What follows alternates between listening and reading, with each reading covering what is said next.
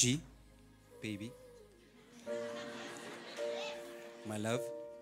But there was never a time we gave up. It has been a long journey, my love. And we are finally getting married. And this, for me, is a beautiful love story. Thank you for the love, support. You are now bones of my bones, flesh of my flesh. We are no longer two, but one. When the time is right, I, the Lord, will make it happen.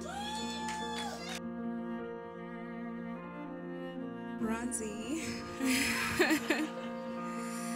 I vow to carry you, to be carried by you, to love you as you've loved me. Through all hardships, darkness, and pain, to journey this life with you, to love each other every minute of it. We will live a life of constant adventure. I choose this life with you without any reservation, without any fear or confusion, but with a clear and trusting heart.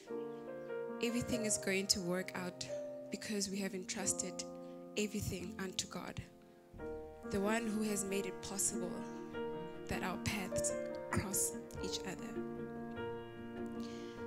When I realized my true feelings for you, I found just what I wanted a warm hearted, loving, kind, playful, respectful, responsible man. I love how unapologetic you are about who you are. You were my wish, and now you're my dream come true. And a person I most certainly want to grow old with.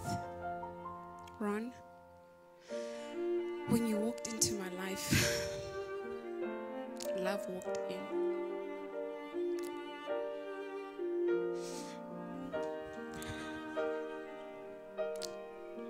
Twelve years, twelve years later, I still feel those butterflies when I kiss you. My eyes still sparkles when I see you. You unconditional love, tenderness, and undying devotion. To never ask you to be more than you are, and to love you